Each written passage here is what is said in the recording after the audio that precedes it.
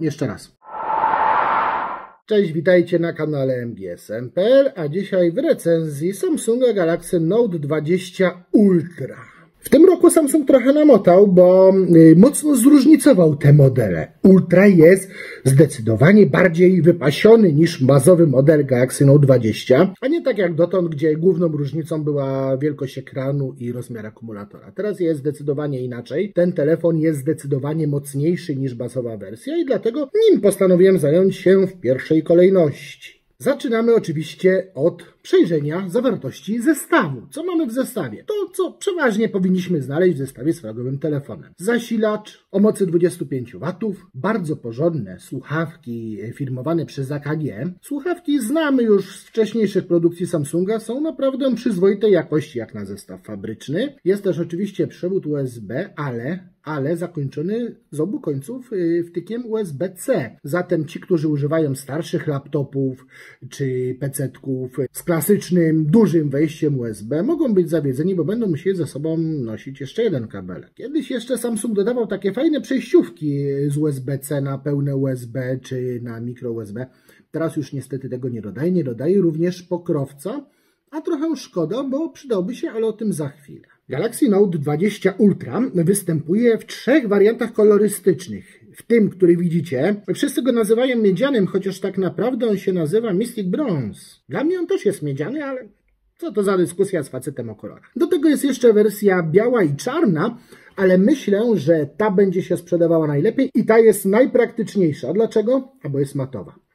Widać na niej ślady paluchów. Nie będę kłamał, że nie, ale widać je zdecydowanie mniej niż na wersjach błyszczących. Podejrzewam, że i ewentualne zarysowania też będzie na tym kolorze akurat widać mniej, a wygląda on naprawdę bardzo efektownie, bo tu mamy mat, tu mamy takie błyszczące detale, górna i dolna ścianka również błyszczą, brzegi telefonu również błyszczące. Wygląda to moim zdaniem prześwietnie, no ale oczywiście jest pewien szpecący ten smartfon detal. Ta ramka, ona jest dużo ładniejsza moim zdaniem niż na przykład y, w serii Galaxy S, niemniej wystaje dosyć mocno poza obrys obudowy i problemem będzie to na przykład wtedy, kiedy odłożycie telefon na płaską powierzchnię i będziecie chcieli sobie coś jedną ręką na nim stukać. On się będzie po prostu kiwał.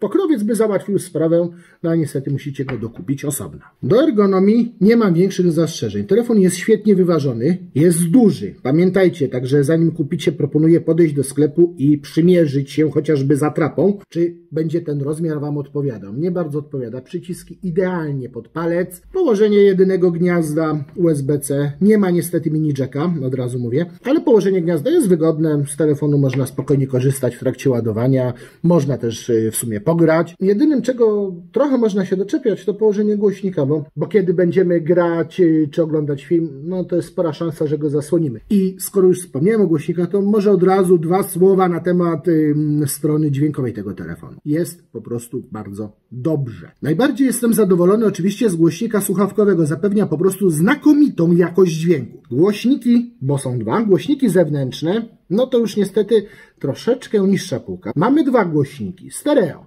Jeden na dole, który gra dosyć czysto, dosyć głośno i robi nawet trochę basu. I drugi ten w słuchawce, który no, choćby się bardzo starał z racji swoich gabarytów i rozmiaru szczeliny, przez którą y, wydobywa się jego dźwięk, no basu z siebie raczej nie wydobędzie. Czyli to stereo jest takie trochę nierówne, ale bez problemu oczywiście pogramy, bez problemu obejrzymy film. Ten dźwięk jest przekazywany naprawdę donośnie i czysto. Tyle, że wolałbym, żeby to było pełne, takie prawdziwe, porządne stereo mm, z odrobiną basu. Dźwięk y, podawany przez USB-C jest jak najbardziej poprawny.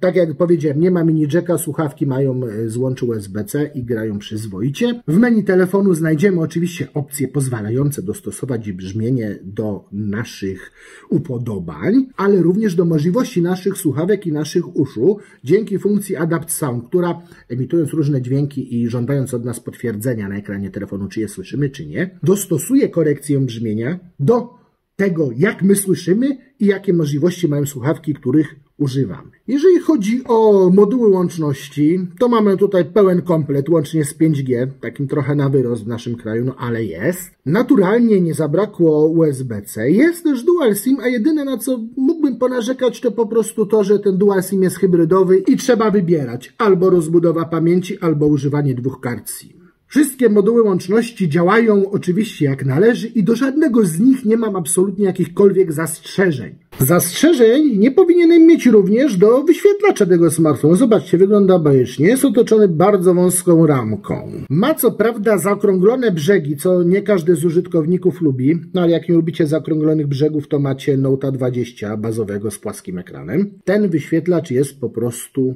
genialny. Świeci tak, że w zasadzie tu się nie ma do czego przyczepić, bo mamy wysoką rozdzielczość, mamy znakomity poziom jasności maksymalnej, bardzo dobrze dobraną jasność minimalną, mamy ochronę wzroku, mamy rozbudowane opcje pozwalające dostosować balans kolorów do naszych potrzeb i upodobań i oczywiście mamy też yy, najmodniejszy obecnie bajer w postaci szybkiego odświeżania obrazu, tutaj 120 Hz. Pewnie powiecie, że są telefony odświeżające obraz jeszcze szybciej. Niedawno taki testowałem nawet. No i co z tego? Ten wyświetlacz jest po prostu bardzo dobry, a ma jeszcze bardzo ciekawą funkcję w postaci odświeżania obrazu adaptacyjnego. To oznacza, że szybkie odświeżenie nie będzie drenowało baterii, tak jak w przypadku, gdybyśmy włączyli je na stałe, bo nie zawsze jest nam potrzebne. Przyda się w grach. Kiedy oglądamy filmy, wystarczy nam 30 Hz. Kiedy czytamy coś, to jeszcze mniej. Kiedy oglądamy statyczny obraz przez dłuższą chwilę, to taki ekstremalny przypadek, ale może się tak zdarzyć i to nierzadko, odświeżanie obrazu w tym telefonie zostanie zredukowane do zaledwie 10 Hz.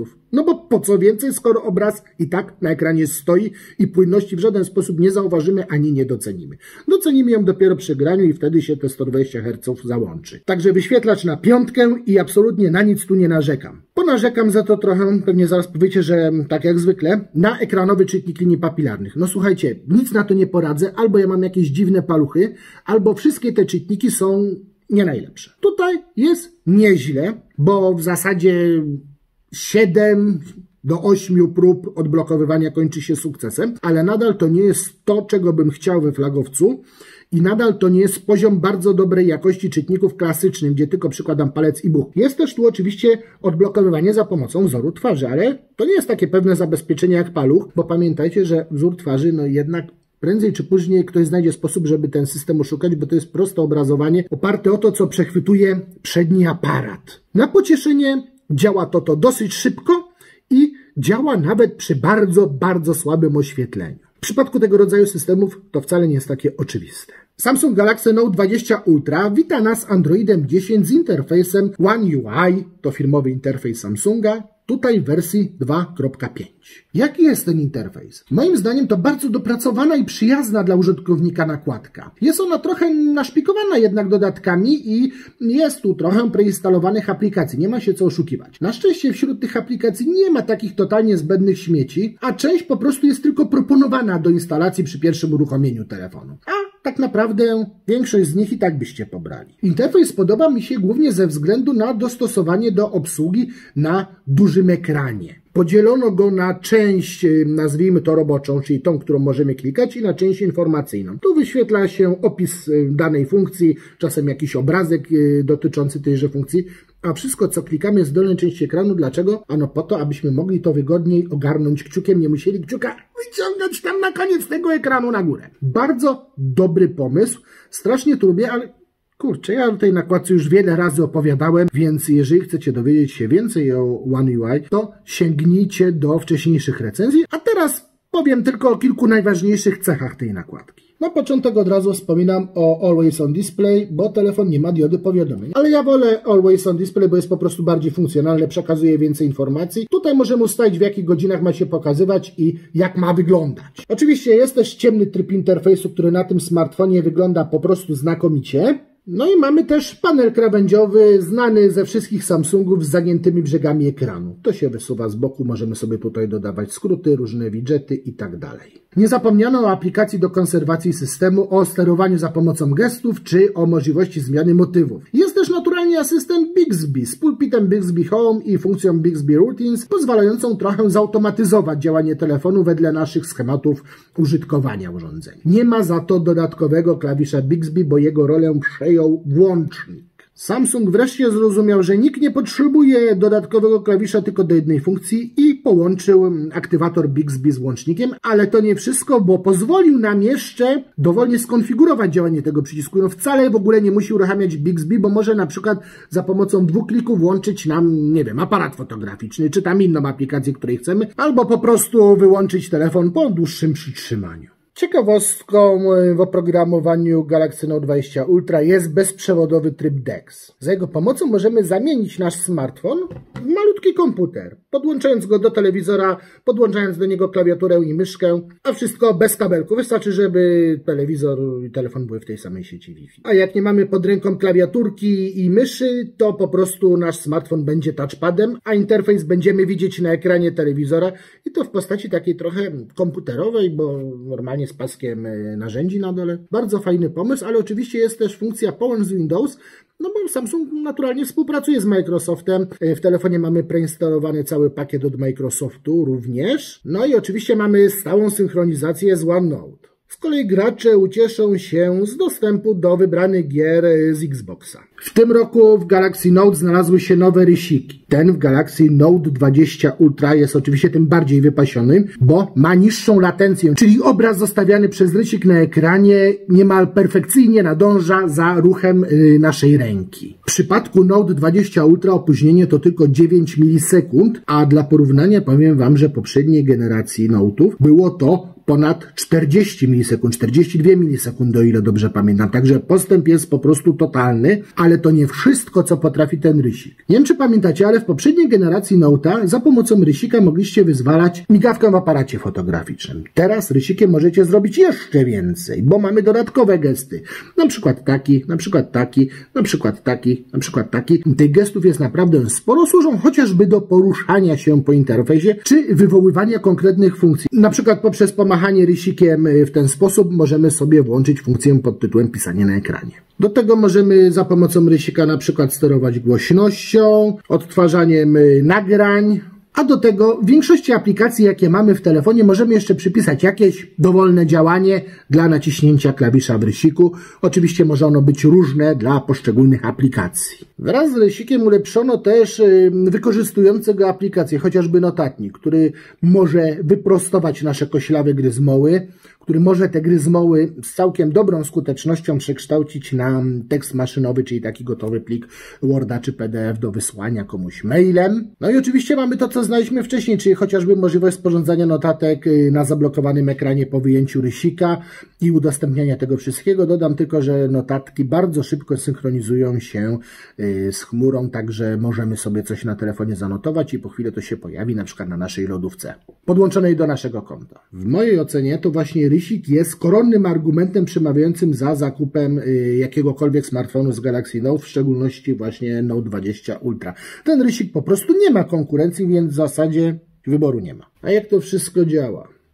Samsung zależnie od regionu oferuje Galaxy Note 20 Ultra albo z własnym procesorem Exynos, albo z topowym Snapdragonem. Tutaj w sieci znajdziecie mnóstwo porównań obu wersji, mnóstwo narzekań na Exynosa, a ja niestety nie miałem możliwości porównania i zobaczenia na własne oczy odczucia różnicy pomiędzy Exynosem i Snapdragonem, więc nie będę powielał y, tego, co się pisze w sieci, tylko powiem to, co sam zaobserwowałem. Procesor jest tu wspierany przez 12 GB pamięci operacyjnej i to szybkiej DDR5, i równie szybkiej pamięci wewnętrznej UFS 3.1, tu akurat o pojemności 256 GB.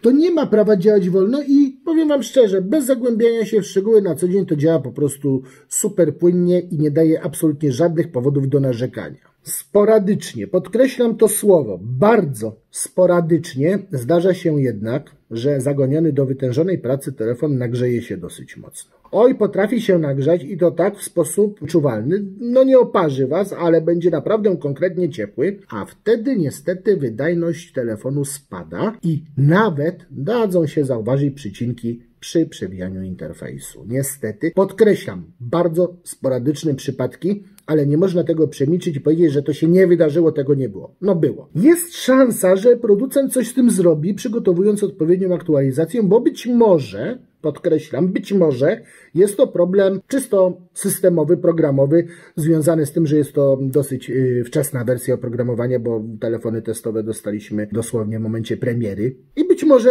z czasem to oprogramowanie zostanie poprawione, ulepszone, tak by wyeliminować to zjawisko. Może to być oczywiście też problem sprzętowy, bo niedawno dotarły do mnie informacje, że smartfony Galaxy Note, bez względu na to jaki mają procesor, mogą mieć też różny system chłodzenia. W niektórych mamy y, miedzianą rurkę powietrzną, a w niektórych grafitowe y, listki chłodzące. Nikt do tej pory nie wyłapał reguły, co w których modelach występuje. Ja też nie wiem, co występuje w tym moim, bo go nie rozbierałem. O, i tu jeszcze wtrącę, że telefon jest oczywiście wodoszczelny. Zatem ciężko mi tu wyrokować, y, co jest powodem y, tego nagrzewania się i tych przycinek. W każdym razie one mogą wystąpić w tak flagowym smartfonie. Wolałbym nie widzieć tego rodzaju efektów. Ale za to akumulator zupełnie mnie nie rozczarował, bo prawdę mówiąc to spodziewałem się dramatu. Taki telefon, taka pojemność, hmm. A okazało się, że jest całkiem nieźle, bo Note 20 Ultra serio, wierzcie mi, jest w stanie przepracować całe dwa dni. Oczywiście kosztem pewnych tam wyrzeczeń, niemniej jest w stanie. Ale nawet przy intensywniejszym użytkowaniu też spokojnie cały dzień wyrobi. Podam Wam taki prosty przykład. Taka mała spontaniczna wycieczka. Jadę sobie, włączyłem nawigację, ale bez ładowania, bo gniazdko w samochodzie miałem zajęte czymś innym. Telefon pracuje z włączoną nawigacją, w tle chodzi jeszcze ostrzegacz, plus tam jeszcze po drodze się zatrzymaliśmy, jakieś zdjątko, jakieś coś, dojechaliśmy na miejsce, porobiłem zdjęć, ponagrywałem filmów. Przed y, pójściem spać jeszcze sobie tam coś poczytałem, po, pogrzebałem w internecie. I słuchajcie, bateria dopiero wtedy wyświetliła sygnał, że należy doładować, czyli tam to naładowanie spadło w okolice 10%. Jestem naprawdę zadowolony i nie spodziewałem się, że będzie aż tak dobrze, bo myślałem, że będzie gorzej. Pewnie, że jak się postaracie, to rozładujecie tą baterię szybciej, ale ten czas pracy na ekranie w okolicach 5-6 y, godzin, nawet w porywach do 7, zależnie od scenariusza użytkowania, nie jest naprawdę zły w tak mocno wypasionym telefonie. Trochę mniej pochwalę dołączony do zestawu zasilacz, bo wcale tak mega szybko nie ładuje tego telefonu. W granicach półtorej godziny potrwa na pełne naładowanie od zera, ale na pocieszenie jest też y, ładowanie bezprzewodowe, indukcyjne, 15W i możliwość użyczania bezprzewodowo prądu innym urządzeniom. No i przyszła pora na, nie na telesfora, tylko na aparat fotograficzny. W topowym Note mamy trochę skromniejszy zestaw niż w topowym Galaxy S chociaż czy skromniejszy, nieco inny. Doszedł laserowy autofokus, co ucieszy każdego, kto narzekał na ustawienie ostrości w Galaxy S20. O urodzie oprawki aparatu już mówiłem i nie wiem, czy zauważyliście, że nie ma tu żadnego dopiska. Jakiś stukrotny zoom? Nie, bo jest pięćdziesięciokrotny. Kurczę, nie wystarczy wam? Z Galaxy S przejęto główny aparat 108 megapikseli z przysłoną 1.8 i optyczną stabilizacją. Mamy też taki sam 12-megowy aparat szerokokątny o polu widzenia 120 stopni i 10-megowy aparat do selfie w ekranowym otworku. Inny jest natomiast ten aparat właśnie z zoomem, z peryskopowym obiektywem. Ten obiektyw daje zbliżenie bezstratne 5 razy, a cyfrowe, tak jak już wspomniałem, jest 50-krotne, chociaż moim zdaniem taki faktycznie użyteczny zakres to maksymalnie 20 razy. Fotki wykonywane y, przy zbliżeniu bezstratnym są po prostu świetne. W zasadzie niczym nie ustępują tym robionym głównym obiektywem. Całkiem dobrze prezentują się też ujęcia z wykorzystaniem zoomu hybrydowego, szczególnie w tych mniejszych zakresach. Pamiętajcie jednak, że obiektyw peryskopowy nie ma ruchomych soczewek, zatem to zbliżenie bezstratne musi być ustawione równo na 5 razy. Jeżeli ustawicie sobie na przykład na 4,5, to znowu przechodzicie na zoom hybrydowy, czyli realizowany na drodze cyfrowej, na drodze wycinka z dużej matrycy. No ale ma ona na szczęście taką rozdzielczość, że jakość tych zdjęć jest po prostu bardzo dobra. A to tylko tak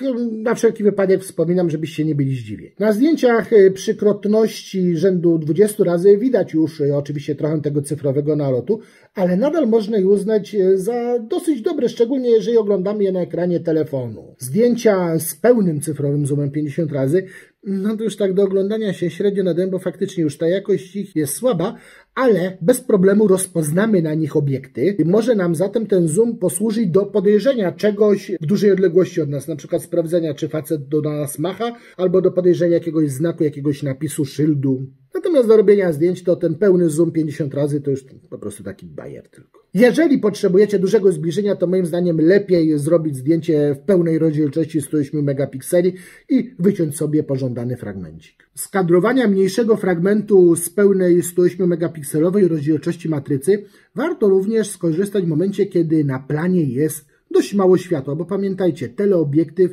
ma niestety przysłonę taką, a nie inną i światło siła nie jest najwyższa w tym przypadku. Zresztą, jak jest naprawdę mało światła, to telefon zrobi to za nas, nawet nam o tym nie meldując i wcale nie będziemy mieli zoomu bezstratnego pięciokrotnego, tylko wycinek z dużej matrycy. A skoro o dużej matrycy mowa, to ten główny aparat w zasadzie nie ma słabych stron. Do zdjęć dziennych trudno mieć jakiekolwiek zastrzeżenia, do nocnych w zasadzie też. Chociaż w tym drugim przypadku mam wrażenie, że aparat trochę na siłę próbuje rozjaśnić y, obraz, wyciągać z kadru nieco więcej światła, czego efektem jest większe zaszumienie widoczne w ciemnych partiach kadru, czyli tych, których w żaden sposób już się nie udało rozjaśnić. Tryb nocny w zasadzie niweluje ten problem, y, dodatkowo jeszcze zgrabnie przyciemnia nam y, prześwietlone detale na ujęciu, ale najlepiej użyć trybu manualnego, który jest tutaj bardzo rozbudowany i po prostu statywu. Trzeba też trochę uważać przy kadrowaniu, bo aparat Galaxy Note 20 Ultra jest dość mocno podatny na zjawisko flar. Te specyficzne prześwietlenia kadru dadzą się nam szczególnie we znaki fotografii miejskiej, gdzie bywa ciemno, ale zdarzają się jaśniejsze punkty, na przykład latarni. Wtedy zauważymy to najintensywniej, a radom jest po prostu zrobienie zdjęcia pod odrobinę innym kątem. Aparat do selfie to w sumie nic wielkiego, ale ma autofokus, a dodatkowo jeszcze może robić zdjęcia z y, szerokim kątem. Uważam, że w telefonie, który bądź co bądź ma trochę biznesowe konotacje, taki aparat w zupełności wystarczy. Oba aparaty, zarówno przedni, jak i tylny, potrafią rozmywać tło, zarówno przy fotografii statycznej, jak i w filmach. W obu przypadkach ten tryb y, wypada naprawdę dobrze, naturalnie zdecydowanie lepiej w zdjęciach niż w filmie, ale przy filmach też jest nieźle. A dodatkowo jeszcze dodam, że rozmywanie tła może się odbywać na kilka sposobów, na przykład pierwszoplanowy obiekt, czyli my możemy być kolorowi, a tło czarno-białe. Ciekawostką w interfejsie fotograficznym jest również funkcja jedno ujęcie. Polega ona na tym, że aparat Wykonuje zdjęcia wszystkimi modułami w tym samym momencie, z różnymi filtrami na różne sposoby. Czasem nawet y, nagra krótki filmik, a potem możemy sobie wybrać to zdjęcie, to ujęcie, które naszym zdaniem okaże się najciekawsze. Flagowe modele Samsunga od lat kojarzę z wysoką jakością nagrywanych filmów.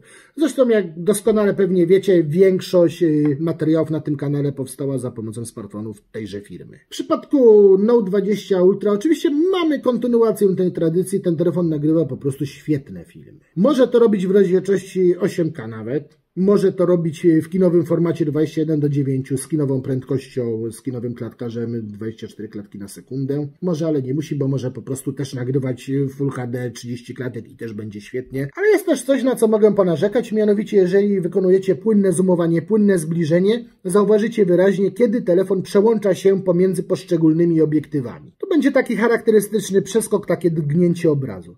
Co gorsza, kiedy zoomujecie w sposób płynny, przesuwając po prostu paluszkiem góra-dół po ekranie, słychać jeszcze dźwięk towarzyszącej tej czynności wibracji. Nie wiem po co dodali tą wibrację, chyba to miało imitować kręcenie tubusem obiektywu, ale to jest bez sensu, bo tą wibrację słychać na nagraniu filmowym niekiedy niestety. Strasznie podoba mi się natomiast to, że podczas nagrywania filmu, bez przerywania zapisu, można przełączać się pomiędzy wszystkimi obiektywami telefonu, co więcej, między przednim a tylnym aparatem. To bardzo fajna opcja, chociażby dla ludzi, którzy nagrywają wideoblogi. Ale nie tylko, bo w zasadzie to się może przydać każdemu użytkownikowi. A jeszcze większym bajerem jest profesjonalny tryb filmowania, gdzie w zasadzie mamy wpływ na wszystko. Możemy sterować parametrami obrazu, migawką, czułością, ekspozycją, balansem bieli czy ostrością, ale również dźwiękiem. Nie tylko sobie możemy podbić dźwięk, czy go trochę przyciszyć, kiedy wokół jest za głośno, ale możemy wybrać, który mikrofon ma uczestniczyć w nagraniu. Czy tylko ten przedni, czy ten zwrócony w naszą stronę, a może Bluetooth, bo możemy sobie podłączyć w roli mikrofonu dowolne słuchawki Bluetooth mieć je w uchu i rejestrować wyłącznie dźwięk, który mówimy, czyli na przykład nasz komentarz do tego, co szerzej pokazujemy. Bardzo lubię również interfejs fotograficzny w smartfonach Samsunga, czyli w One UI. Jest prosty, przejrzysty i przyjazny. Ma też to, co lubię. Możliwość układania trybów y, pracy aparatu w pożądanej przeze mnie kolejności wraz z podziałem pomiędzy te widoczne na głównym ekranie w przewijaku, a te schowane w zasobniku pod hasłem więcej. Błagam, nie pytajcie mnie, czy kupiłbym telefon, bo cena niemal 6000 to jednak trochę dla mnie abstrakcja. Jakbym nie miał co robić z pieniędzmi, to może bym go kupił. I wy, jeżeli macie luźne 6000, akurat potrzebujecie bardzo fajnego telefonu, to spokojnie możecie go sobie kupić. Chyba, że jesteście gadżeciarzami, a nie potrzebujecie rysika. Wtedy to sobie poczekajcie na drugiego folda. Jeśli natomiast po prostu rozważacie zakup jakiegoś mocnego flagowca